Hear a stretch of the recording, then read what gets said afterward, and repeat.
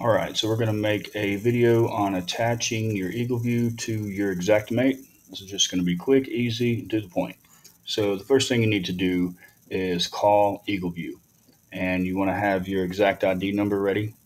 And so you're going to give them your exact ID, and they're going to set you up on their end. You only need to do this one time.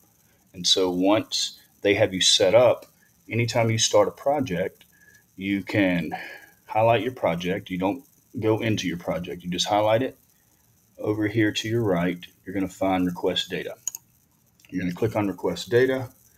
Here at the top, you're going to click on EagleView. And then you're going to put in here, you're going to put in your location of the project. You're going to put in your contact information. And then you're going to have to put in the claim number.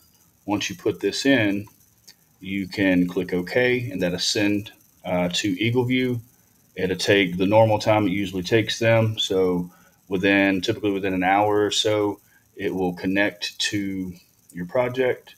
Then you can go into your project and it will be automatically in your sketch. So you'll just go to your estimate and your sketch, which nothing's going to be here, but it will be here in your sketch and you can click on it. It'll open it up. You'll have all of your measurements and you'll be ready to add your items. So guys, if you like this video, please like and subscribe. I'm going to start creating more of these and we're just going to make them easy, quick, to the point, and nothing extra. Thanks again.